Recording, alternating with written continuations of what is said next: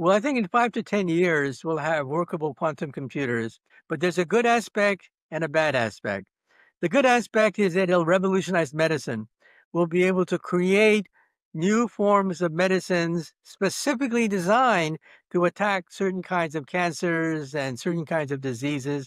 The downside is these quantum computers are so powerful that in principle, they can break any known digital code. Now, what protects your bank account from somebody who wants to steal all your money if they know your code? What separates that is the fact that we don't have digital computers powerful enough to do that quantum computers are. So the CIA is definitely interested in this technology. The Russians, the Chinese, they're all working on this and they realize that in their heart of hearts, it also means that you could, in principle, break any known code that is digital. Okay. So are we talking about nuclear codes as well? Any digital code.